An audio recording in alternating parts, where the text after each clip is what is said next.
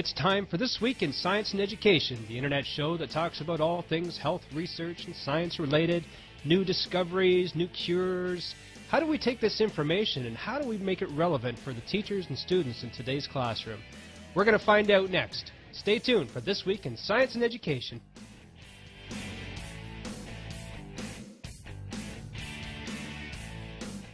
This Week in Science and Education is brought to you by Sheridan Institute of Technology and Advanced Learning. At Sheridan, students shine brighter. Visit their website at SheridanShineBrighter.com.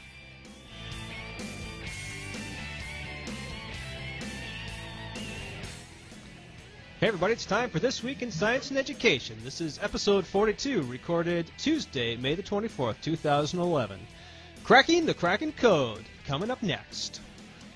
Hey everybody, it's time for This Week in Science and Education. This is your host Kevin Cougler, broadcasting live from the University of Western Ontario. Joining me, as always, my good friend and colleague, Mr. Colin Jagoe, Kawartha Pine Ridge District School Board. What are you saying, Colin? What am I saying? What am I saying? I don't know. It's finally nice here. I'm saying that it was a good weekend, and uh, it's finally starting to warm up. So I think uh, I think the winter might actually be over now. I think you're right. I uh, had a weekend where we had three beautiful days in Woodstock. Mm-hmm. Um, only two days were supposed to rain, and I was really actually calling for rain this weekend because my wife informed me Friday that she had landscaping booked for me all three days Ah. solid. So I thought, well, at least Sunday and Monday, you know, it'll be raining. Exactly. Yeah, but that didn't work. So I'm my shoulders are sore, my back is sore. It's it's completely Oh. terrible. Hey, guess too where I was last Friday? I don't know. I was at the National Science Fair, my friend. Remember uh, oh going to yes, Ottawa? you were. Yes, you were. Yeah. How was that? It was great. You remember that uh, student that uh, did the hockey helmet? Um, hockey helmet? um, Yep. yeah, Won. No kidding. He won his division. Good stuff. Yep, he sure did. He was uh, fascinating. Yep. So I Mhm. actually got to interview him. That'll be episode 43 is my coverage of the National Science Fair. But what a what a tremendous Awesome. day walking around talking to those kids. You would have loved it. Good. Well, I'm sure I would have, but I was on my way to the cottage, and there was no flies up there yet, so it was just as nice. Oh, what a beautiful segue. Speaking of flies, there is Dr. Thomas Merritt up at Laurentian University in Sudbury. Hey, Thomas. Hi guys, it's great to be here. Uh, winter stuff. has not left. We we actually have a frost warning for tonight, so just in Oh, case sorry you're thinking hear of move. Oh. Uh, it wasn't sorry to hear. Thanks. hey, Thomas, I understand we have two really special guests here today, and they came by way of you. Thank you very much for sending this uh, copy of Kraken, by the way, to uh, Colin and I. This has been a wonderful read. But uh, let's have you introduce our guest today. Sure, by all means. They actually come by way of my mom, um, and I, I got to tell you, this is this is as you said our 42nd episode. Um, and I am probably more nervous about this episode than anything we've ever done in the past because Wendy has met my mom. What, what if this goes poorly? Um, I mean, Cape, Cape Cod's not a big place. It'll get back to mom that, that this didn't go well. Um, Do you want Wendy Colin Williams? to introduce them? No, I'll be okay. Uh, Wendy Williams is a science journalist, trained as a science journalist, and author, lives on Cape Cod now, um, and came into the bookstore where my mother works to give an author presentation. Actually, Wendy, it's been a couple of months now, I think. Um, and somewhere in there started a conversation with my mom saying, "Oh, well, my my son's a scientist, and he used to work on squid." Uh, and then we emailed back and forth, and Wendy very graciously agreed to, to come on and talk to us about her book, uh, Kraken: The Curious, Exciting, and Slightly Disturbing Science of Squid, um, which we've all read. And along with the conversations with Wendy, she mentioned Joe DeGeor- DeGeorges. Sorry, Joe. Um, I can't be the first person who's had a hard time with that name. Um, as, as a collaborator and colleague, and, and the person that really kept her science in line as Wendy was writing uh, the book. And, and one of the things that, that had struck me, and I mentioned this to Wendy when we talked about it, was as good a read as the book is, the science is really good, and it, it's difficult for those two things to mesh. And I think one of the reasons it does in, in this particular case um, is that you've got a really good author and a really good scientist that are sort of cross-checking each other uh, and making that work. So thank you to both Joe and Wendy uh, for, for coming on.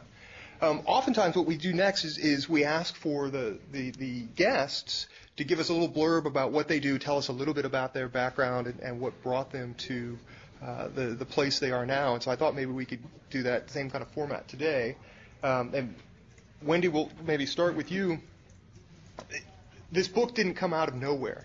Um, so maybe give us a little bit of your history and, and what led to uh, your fascination with squid um, and, and writing this book. Well, I think the first thing I have to say is that I didn't grow up on the ocean. I actually grew up in the Midwest, where our idea of a fish dinner was uh, fish sticks and tartar sauce. So when I came to the East Coast and learned about the ocean, I was uh, curious. I was excited, but I was also slightly disturbed to find out about all the strange things that lived in the ocean. I came here to be a reporter on a newspaper, and uh, uh, while I was a reporter, I got a fellowship to be a science journalism fellow at the Marine Biological Laboratory in Woods Hole. And it was there I learned the astounding and perhaps a little bit horrifying fact that our brain neuron, the cell that makes uh, aids our thinking and our existence in life, was pretty much similar to the brain neuron of the squid, an animal which I knew very little about, but uh, had a very distinct reaction to the first time I saw it.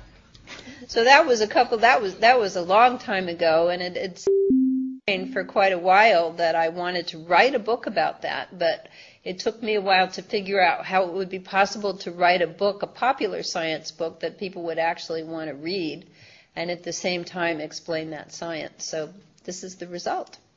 Yeah, that's a neat story. When I was an undergrad at University of North Carolina, I did my undergrad thesis on cuttlefish behavior uh, with uh, Jean Boal, who's one of the, the scientists you mentioned in, in your mm. book.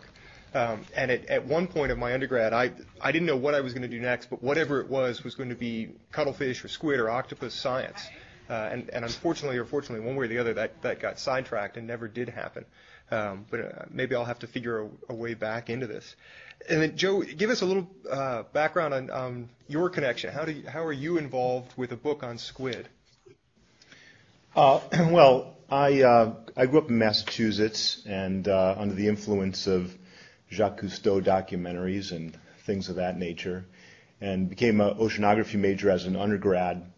And I really wanted to get a job at the Woods Hole Oceanographic, but ended up finding a job across the street at the Marine Biological Laboratory uh, as a scuba diver and a collector of marine organisms for biological research. So it turns out that uh, MBL had this dive team, and I was really into that stuff. Uh, I still like it, and started collecting uh, these organisms, and each species is used for a different type of research. A starfish is uh, usually used to study cell division or sea urchins, and uh, horseshoe crabs are used to study uh, blood, and squid happen to be a nice model to understand the neurophysiology, how nerve cells function.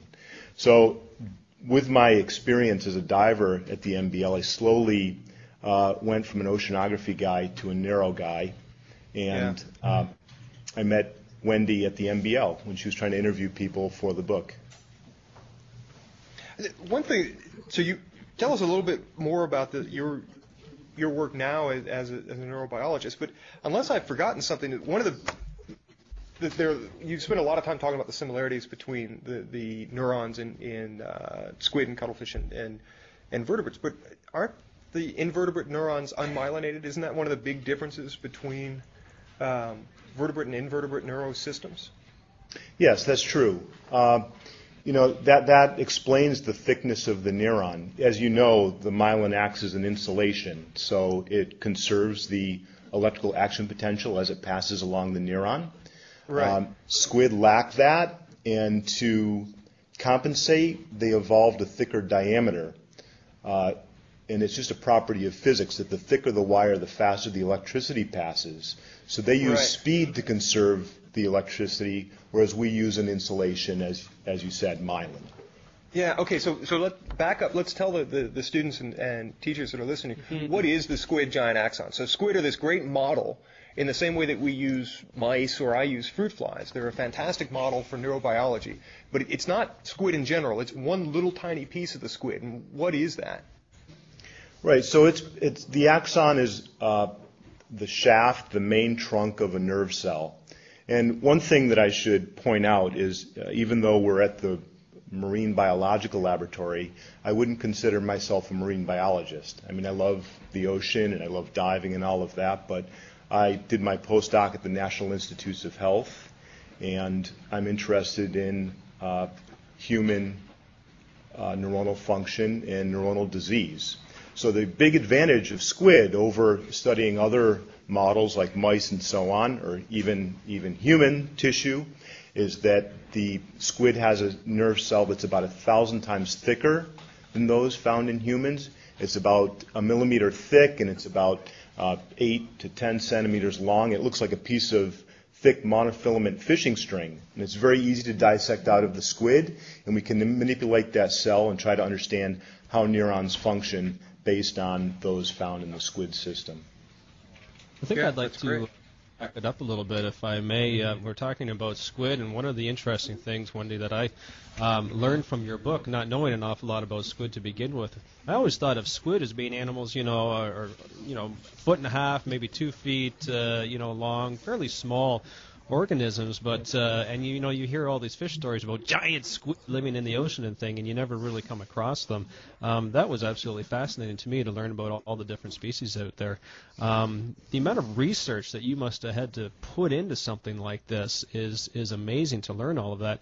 Just talk a little bit for those younger students that are listening to the show. What are the different types of squid and, and the relative sizes that they could hope to uh, to see if they're traveling at different depths in the ocean?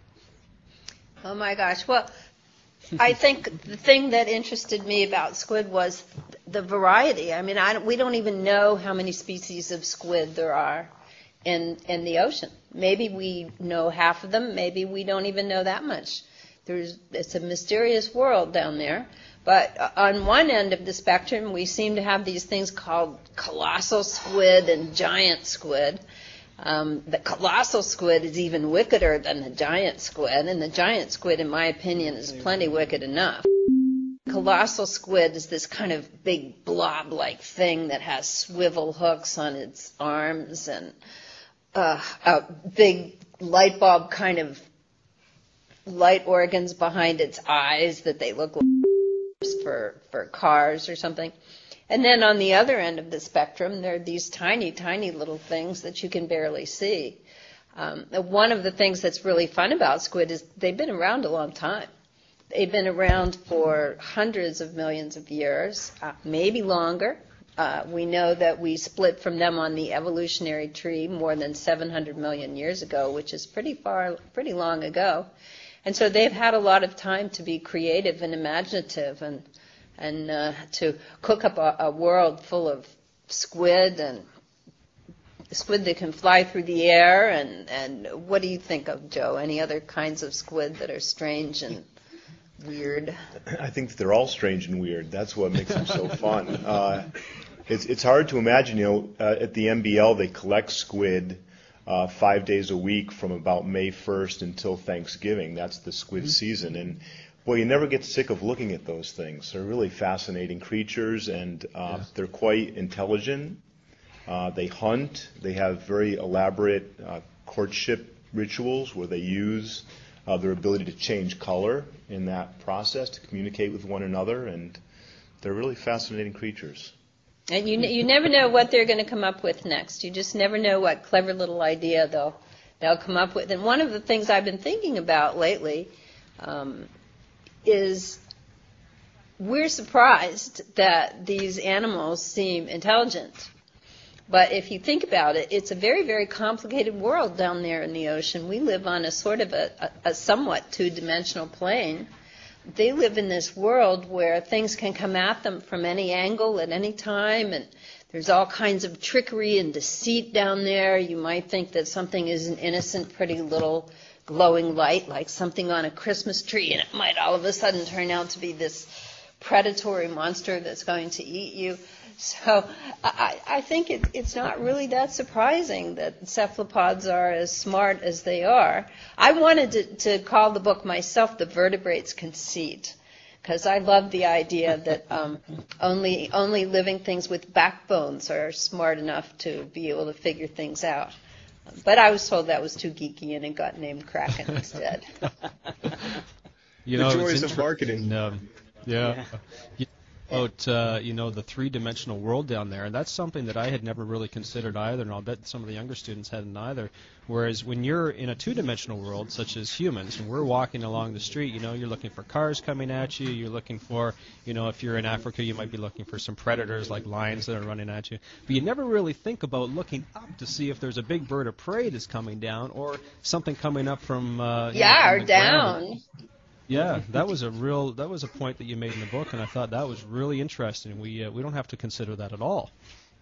Right. I, I mean, it's very complicated down there, and no wonder there are all these strange lights and unusual goings on, and, and some animals get to be so huge, and other animals survive by being barely visible, so tiny. Everybody's got their own special little strategies down there as a way to cope with this complicated world, and in comparison to which our 21st century life is almost kindergarten. Speaking of uh, strange goings on, let's go to Colin Jagoe, who keeps popping in and out like a Christmas bulb going on and off. Colin, let's get to you before we lose you. I apologize for my connections. Uh, Kevin and I have some troubleshooting to do after the show, apparently. Um, listen, this, this, the, I read the book in, in, in one afternoon. I, I started it because I had some time, and I didn't stop until I was done. It was it was really really wonderful to sit down and dive into it. And the one thing I really liked, or well, one of the things I really liked is is, and I, I'm sensing the same thing from from you um, in terms of doing your research. The more I read, the more I learned that I had no idea about. Right, just the little twists on things, and it was just it was just fascinating. Um, we mentioned earlier, and Joe mentioned it too, about uh, using um, the axon, for example, as a model species to study uh, neurons in humans. But then you also alluded to some other things about uh, horseshoe crab for blood, and, and uh, you mentioned another one as well. Could you maybe just talk about what a model species is and some of the science behind using one of these model species, and, and why do humans then use these, and what do we learn from them? Yeah, sure. I mean, the best models are the ones that help you elucidate some uh, biological problems. So, uh, for instance, the how cells divide uh, is very easily studied in sea urchins, and it, sea urchins are very plentiful. They're easy to collect. They have many eggs. Uh, they're easy to fertilize, and of course, we're very interested in how cells divide because cancer is Right. uncontrolled cell division, and uh, so understanding how the normal mechanism happens is extremely important. There are a number of Nobel Prizes that have been won by MBL scientists that have used uh, both urchins and surf clams to study cellular division. Um, and when I was young, we were we were uh, given the task of collecting those surf clams and urchins. It was a lot of fun. Yeah. Um, you just sort of struck on something that made me think of some things we've talked about here in the past. Um, you know, talking about understanding sea urchin um, cell division to then understand, you know, just the process of cell division on a basic level, but then applications to things like cancer and that sort of thing. Um, we've we've talked about sort of the difference between basic science and then like directed science that's got an end goal. I don't know if I'm asking your opinion or, or, or if you can give me an example of something of, of how the basic science of studying this has led to that, or or is it the other way around that we say we're trying to understand cancer and we know that sea urchins are a way to get there? Like which which way does it sort of drive in, in your opinion and in the research that you see? Well, certainly, you know, many of these discoveries are classic discoveries that, that have happened uh, decades ago in some cases. But uh, and when basic science was more the common uh, way to go about doing things. But I don't see any issue with doing directed science either. I mean, we're we're hoping that some of the fundamental aspects that we might learn in squid, for instance, would ultimately be applied to human biology. Uh, now, uh, I'm looking at a protein that's involved in Alzheimer's disease, and they think that this particular protein uh, may link to motors that exist inside nerve cells. And I'm interested in trying to figure out what the wild type role of this particular protein is inside squid neurons and hope that it'll have some benefit to this disease in humans. Wow, What, what can, let me follow up on that just for quickly. Mm-hmm. What can you actually do with a squid neuron in, in that particular protein system? Because I, I know that the people have recently started working on a couple of protein systems in Drosophila that, that seem to be tied into to Alzheimer's. But what, what does having that squid system give you that you don't have in another system? Well, uh, as we said, the squid neuron is very thick. So I study a process that was discovered in the squid giant axon at the MBL uh, in 1980 is the process called axonal transport. And essentially, inside all neurons, ours and squid, there are tracks. And cargoes are transported back and forth along these tracks, and they're powered by proteins that act as molecular motors. So I've been very interested in that as a fundamental aspect of biology. It turns out, though, that these, this protein involved in Alzheimer's disease, called amyloid precursor protein, is thought to be the trailer hitch that links the cargo to the motor.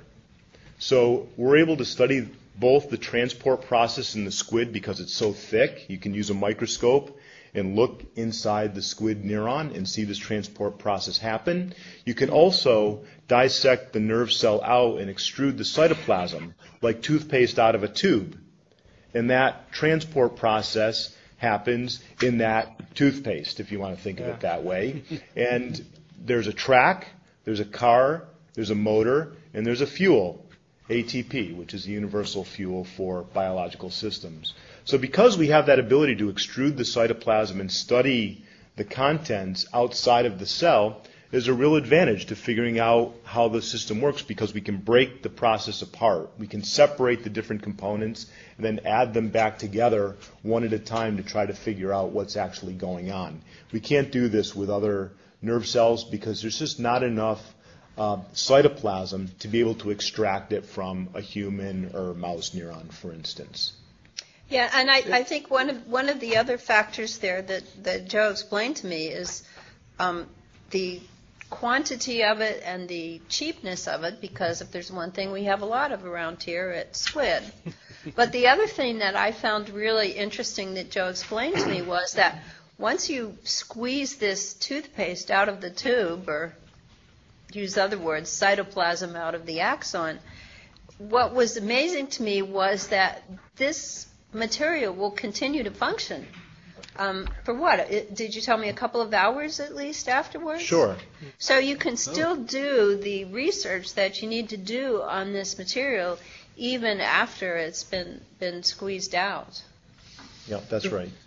Are we still limited? So when, when I was in Galveston, Texas, at the Marine Biomedical Institute, they were trying to, to come up with better ways for squid aquaculture. Are we still limited to working on squid when you can actively collect the squid? So do you have Well- to do your research from May until the end of squid season? Uh, well, there are species that have been successfully cultured, and uh, Roger Hanlon, who is now at the MBL, is Yeah. uh, was involved in that particular group that you mentioned early on. And uh, I was his summer student one year. I see. Yeah. So uh, I just saw Roger yesterday, and uh, he is successfully. That group has successfully cultured a number of species, but the species that we tend to work on, the local species, is particularly difficult to culture, and they're not really sure why that is. Yeah. We're talking but there- today there are with, other uh, squid Whitney that- Williams and Joe DeGiorgis um, about some squid. Sorry to interrupt you, Wendy. I just wanted to get that in there for people who are listening. Back to you, Wendy. That's right. I I was just going to say there there are other squid I think that can be cultured, and one of my favorite is the bobtail squid, the Hawaiian squid. That um, Margaret McFall-Ngai, a scientist that I interviewed, likes to call the couch potato of the squid world. That squid, as, as Joe explained, tend to be very reactive, I guess, in part because they have this these axons that are give them a lot of speed. But for some reason, the couch potato, the uh, bobtail squid, seems to be a little bit calmer and a little bit more laid back, and so um, researchers are able to do different kinds of experiments with them than they might do with um, our local squid. But the other thing that's really fun about that, I don't know if you've even read about this, Joe, is that bobtail squid are so well adapted to certain aspects of our human existence that uh, they were recently sent out into space to see what happens. Oh, I didn't know that. Yep, there's a there's a bobtail squid in space right now, even as we speak, heading uh, up to uh, where is it? Up to up to the shuttle. Oh And my, people- let's get him on the show. I know it'd be very cool, wouldn't it? It'd be very funny. And what they want to do is is study um, bacteria, and and we we know something about how the bacteria interacts with the squid, And so I guess what researchers want to do is see if that bacterial interaction with the squid changes if the squid goes up into space. So that, that, those, that uh, bacterial. Sorry, Joe, Thomas, go that, ahead. That bacterial interaction is a really neat story, Wendy. Can can you tell tell our listeners a little bit more about that particular story? You've got a, a squid, and you've got bacteria, and we actually know quite a bit now about how they interact. Well, I can explain it a little bit, and then maybe Joe can get into more depth. Is that something you know about, Joe? No. I don't know very much about it, but one thing that might be worth uh, pointing out is that we have more uh, bacteria cells in our body than we do have uh, human cells. Yeah. Bacteria Yeah, are everywhere. Yeah, Yeah. that was In fascinating. in fact, we're really just condo projects for bacteria. 21st century condo projects, so the bacteria can have a better life. That's how I look at life.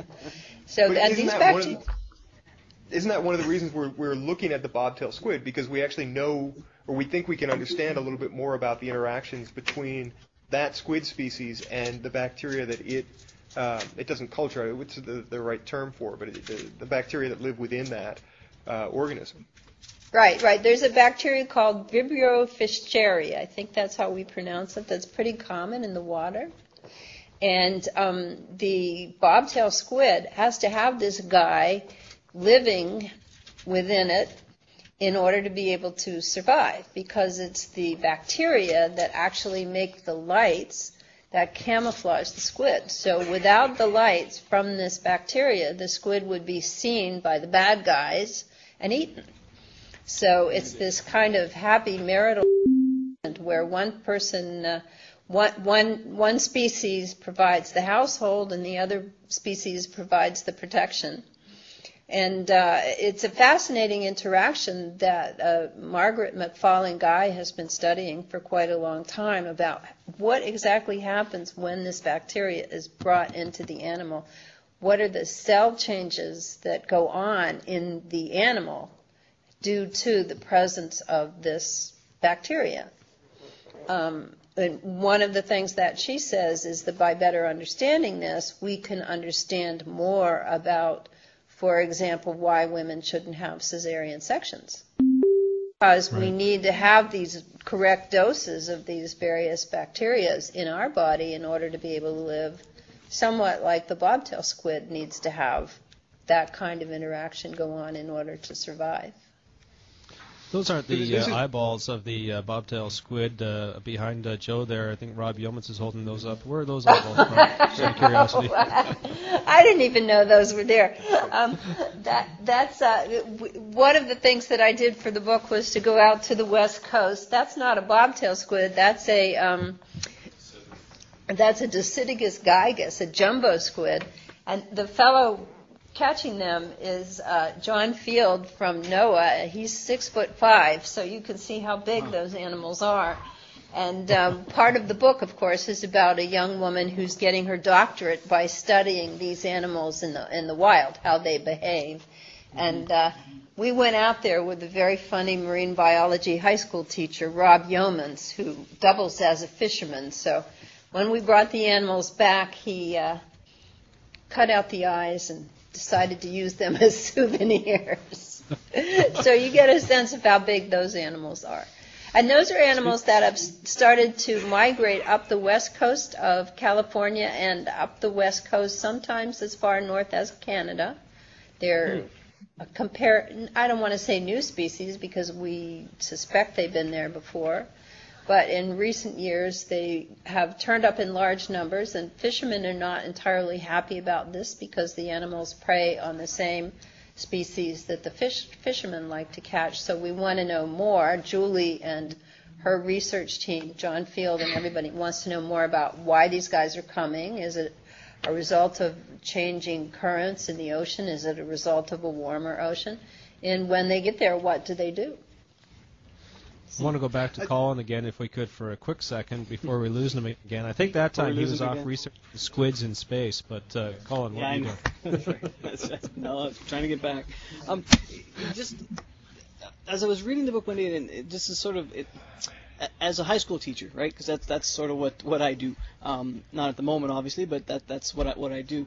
I got thinking about about the writing process from a, from a journalist point of view, from from an author's point of view, and how easy or difficult is it to bring this entire body of knowledge into something that's accessible, like for you know anybody to read. And I mean, I see this being read by a high school student, you know, quite easily. I was reading some of the reviews on Amazon, and people, you know, talked about how how accessible it is to learn something about science with, within this book. So maybe you can talk a bit about the research you did, and then how you bring that as an author uh, to an audience.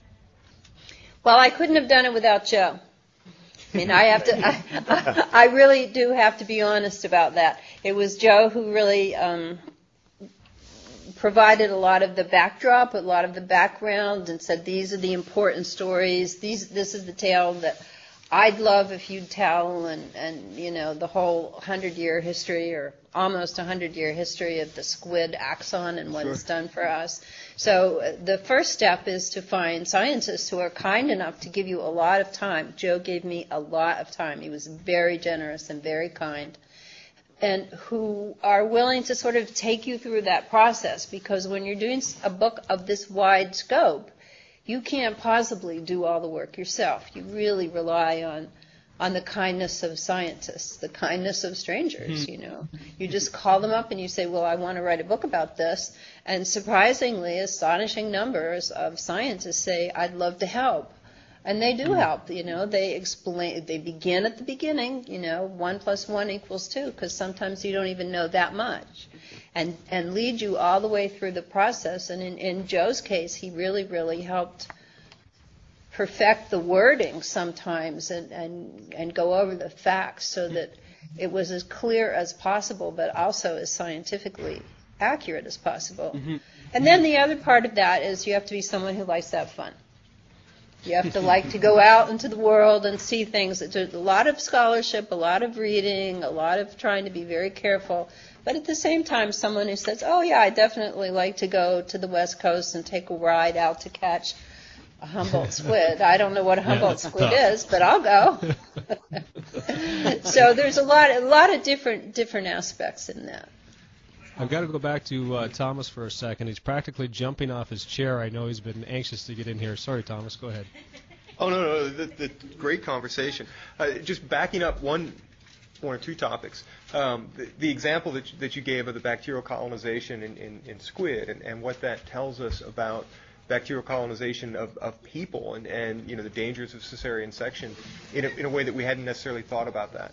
Um, and, and Joe's work with, with Alzheimer's using the model of the, the squid axon. And these are both examples of, of ways that we're using science um, to address real world questions in, in ways that we wouldn't have guessed ahead of time. Nobody sat down to look at um, the bobtail squid with the idea that this might tell us something about birth dynamics. And that's just not how the system worked. Um, and I think those are both really neat examples of, of why applied research is awesome, but we really need to be doing basic fundamental science because you just don't know ahead of time um, where things are going. Um, Wendy, you, you have a background as a, as a science journalist, um, and you, you were just talking about talking to scientists and, and that you were surprised that many of us were, were interested to give you time and, and talk with you. I think that we're all really excited about what we do, or we wouldn't do what we do. We, this is not the kind of job you go into um, because you know you're going to be rich and famous. You go into it because you're passionate and excited about something. But we're oftentimes not very good communicators. That's also why we go into science. Um, and so it, it's it can be a difficult match, you know, to, to find that. Um, so maybe tell us a little bit about you as a science journalist. How did you decide to go into science journalism? And we've talked with, with students in the past about you know alternative careers in science rather than going on to be a professor or a doctor. Um, talk a little bit about being a, a, a science journalist. You mentioned to me in one of our conversations an editor that was a huge part of nurturing you as a developing journalist. Yeah, and I, I mean, I to, to be honest with you, I started off as a daily journalist at a newspaper, and if you want to be a professional writer, there's no better training than that because, as I told you, you can't go out for your beer at night till you finish your story. You don't get to say um, writer's block and oh, I'm too anxious today, and I don't know, whatever, you know, it's a job. It, it's, it's a job. What I do is a job just like any other job. Some people are teachers and some people are nurses and some people are science journalists. Although we don't get paid as much as other people these days. but it's just, it's something that I do and I didn't intend to become a science journalist. Um, I had a wonderful editor when I was a journalist here at this small local daily, the Cape Cod Times, who uh, in those days encouraged me to follow my intellectual interests. So one day I said, gee, I'd like to go and uh, spend some time studying at the Hastings Center for Medical Ethics. And my editor, Bill Breisky, said, wonderful idea. Tell me when you get back. We'll send your checks. And then uh, yeah. I had been a Peace I'd been a Peace Corps volunteer, so I said at one point, "Gee, I'd like to go back and write about Africa." And my editor said, "Wonderful idea. How long will you be gone? Where shall we send your checks?" It was just a fantastic era to be a journalist in the 1970s. And yeah. um, at some point, I got interested in medicine, and as I say, I'm on Cape Cod, so where do you go? You go to Woods Hole. And there were a lot of wonderful programs and wonderful lectures at Woods Hole. And uh, that's wonderful about the community is that people are welcomed there. You don't have to have a doctorate. You just have to be interested in something and curious and ask questions. So um, I, I, Rob Yeomans, the the marine science teacher from uh, Newburyport High School, came out west. Guy. Uh, yeah, yeah, the eyeball guy came came out west with us, and when he came back, he said that the thing that surprised him most about the trip was how much fun scientists were. He said, "Oh, I thought these guys were going to show up in coats and ties, and you know, from Stanford University must be very important." And I I said, "No, actually, scientists are pretty much the most fun group of people I've ever met. It's a wonderful I haven't life." Met any fun ones? Have you, Colin? I'm a fun one. Joe's fun. Joe had, Joe knows how to have a lot of fun in life. No, I found a few. All right. Well, let's. So, let's, so let's, I mean, uh, there, there's all kinds of things you can do with science. You don't have to have a doctorate degree. I have a, a an undergraduate degree in uh, English literature, hmm. but I read a lot, and I've been doing this for a long time. You can tell I'm not 20 years old anymore, so I've been doing it for a long time. You know, it's really important to have a good backup these days. We all have information that we want to protect, and we want to make sure that we can retrieve. There's a lot of stories, and I'm much of a culprit as anybody on this, that we just don't have adequate protection anymore on our computers. We seem to be so busy with our lives that we don't take the time to sit down and set up an appropriate backup. Documents, pictures, research, all sorts of things that we have on our computers, and we've got to make sure that it's protected. Well, how are we going to do that? why don't you give Mueller Systems a try? Their website is muellerdata.com slash VROC. That's M-U-L-L-E-R-D-A-T-A dot com slash V-R-O-C. If you visit that website free for 90 days, you can download, install, and configure their software. Make sure that it works for you. If you get stuck or you're not sure how to do it, give them a call. They'll walk you through it. Again, that website is muellerdata.com slash VROC we thank them very much for their support of our podcasting programs at Virtual Researcher on Call, and we look forward to working with them some more in the future. MuellerData.com slash VROC. Get that data protected, folks. I have a question, um, and I'm not sure who to direct this at, Wendy, if it should go to you or if it should go to Joe, so I'll just put the question out there. Of course, the book prompted the question. Um, and I'm not going to get all the scientific terms right here because I'm not a scientist, as everybody knows. The one the interesting thing that I thank you, good group of guys. The um, one of the interesting things I read in your book, Wendy, was about this ability for squid to camouflage themselves in in the ocean and how some of the research surrounding that might have some type of application in the in the military for soldiers who are overseas and uh, or in, in, some type of a um, environment where a better type of camouflage is um, would be needed. Um, maybe talk a little bit about the research behind that and how that will actually translate itself into um, that type of application. Um, and again, I'm sorry, I'm not sure which one of you would be more apt to. Uh, oh, I think that. Joe might be able to answer that better than me. Well, well I'm not sure that I can. Uh, I mean, the the uh, squid have a, a, specialized cell in their skin called a chromatophore, and the chromatophores are different colors, and they can dilate or expand a certain cell that's under neuronal control. So they, they can use their brains to decide what colors they want to change and, and to camouflage if that's what they want to do. Or at times, they, when they want to be aggressive, they're trying to do the exact opposite. They're, they're trying to make themselves look tough, and they turn red and all sorts of different colors. Um, so it's under so the the changing of of color occurs through either dilating or retracting this pigment within these cells in the skin, and that uh, is is probably muscle that ultimately causes that uh, restriction or expansion of those cells. But they, they're extremely visual animals. Uh, even when they hatch, they're about a sixteenth of an inch long, and they use vision to school. Uh, they stay together after they hatch from the eggs, and they, they take a look at each other. And there's no larval stage. They hatch as little tiny adults, and they can ink, and they can grab things with their tentacles and all those sorts of things, and change color. And their eyes are very large, as we've uh, seen and we've been talking about, and then that's because they use vision as a major form of communication with one another. Um, how that will uh, translate into um, camouflage for military applications or others, uh, I'm not sure, but uh, they probably can, can gain an understanding of how patterning leads to camouflage. That would be my guess. And uh, that, again, is, is some work that Roger Hanlon's group is doing at, at the MBL. Yeah, I, I, I read something about I, I think it also recently. has something to do with um, the way, the, the tricks that the squid and other animals. Um, we've all seen the wonderful videos, or I think we've all seen the wonderful videos of the octopuses in the water. By the way, people say octopuses; they don't say octopi. Of the octopuses in the water that you can't see until the underwater camera gets right up on them, and then all of a sudden they materialize. Whoa, there's an octopus there.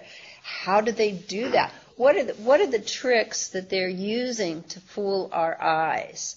I think that's a direction that people are, are curious about. And I've seen this for myself. I mean, especially the particular animal that Joe was, was talking about is the, um,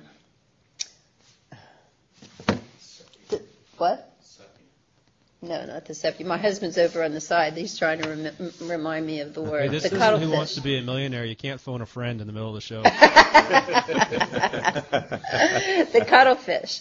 Cuttle, cuttlefish are these wonderful, wonderful animals that I found absolutely fascinating. I could just look at them for hours. And these cuttle, well, I saw some cuttlefish in a tank that had decided to hang out just below some black plastic fronds that looked like seaweed.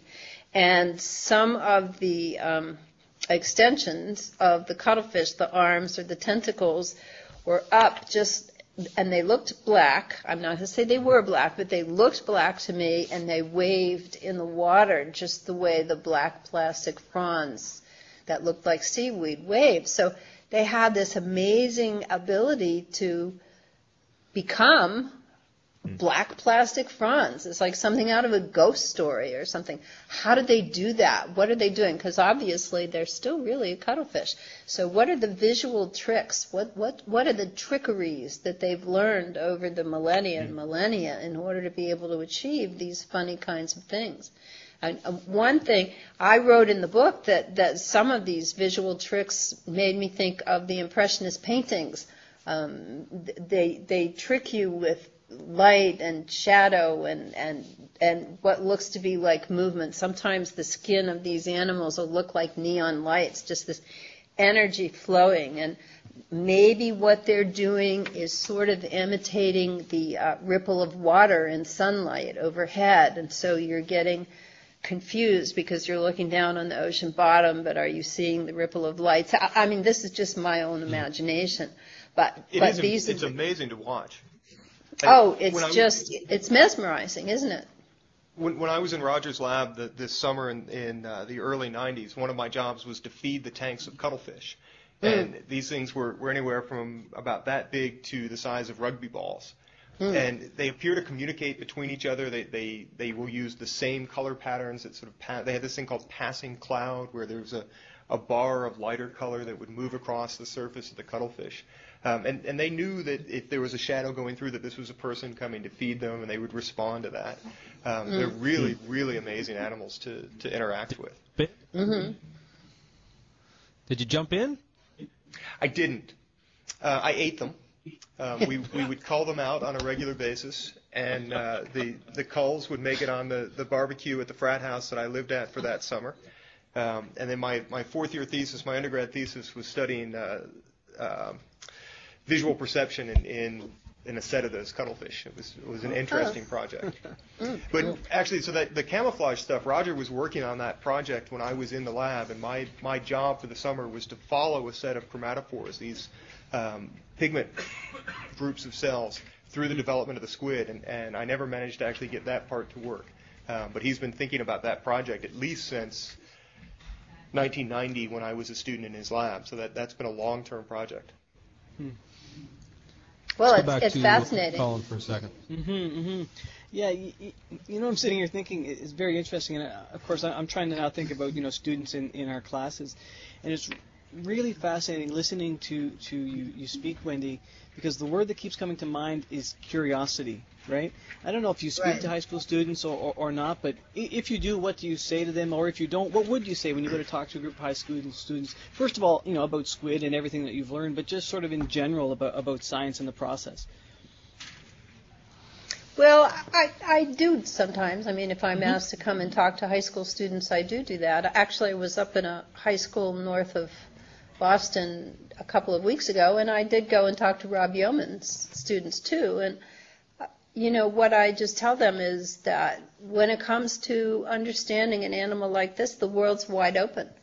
There are so many different ways that you can approach to look at this, and and uh, what I tried to do in the book is give a whole spectrum of people who are interested in this animal, from Julie, who's out there in this grueling situation carrying around animals that are almost as heavy as her and covered in squid ink, and her hands are all cut up, and she loved it. And then going all the way to the whole other end of the spectrum where you have um, scientists who are working on really basic molecular stuff like, like Joe. You know, of course, Joe himself has lived the whole spectrum himself, going from being a collector to now being stuck in a lab, maybe sometimes a little more than he might like. That's true. So, uh, you know, when it, that that's what's interesting to me is in a field like this, you're not locked in. It depends on your personality, depends on what you're interested in. But I do think one thing that you have to be is curious about the world.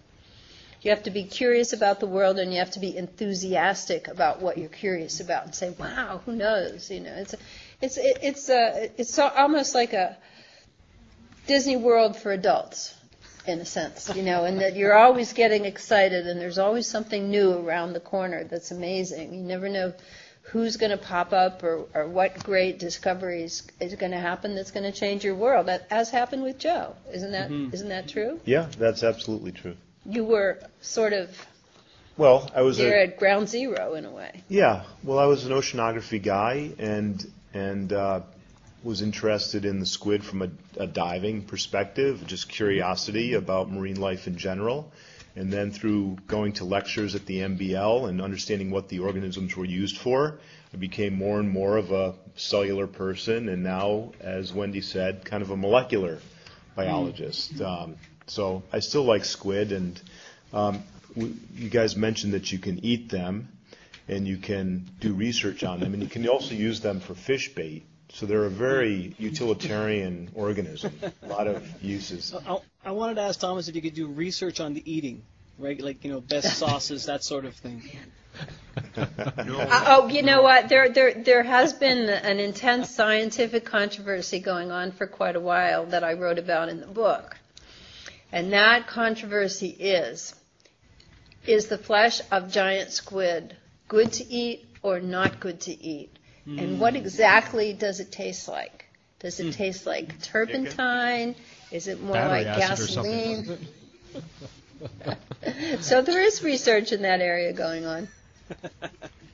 A question for you. Uh, you know, we we talk about you spending time in the lab, you know, and doing all this wonderful research, and we talk about you know uh, being out in the water and uh, you know kind of getting involved with your research in a hands-on perspective.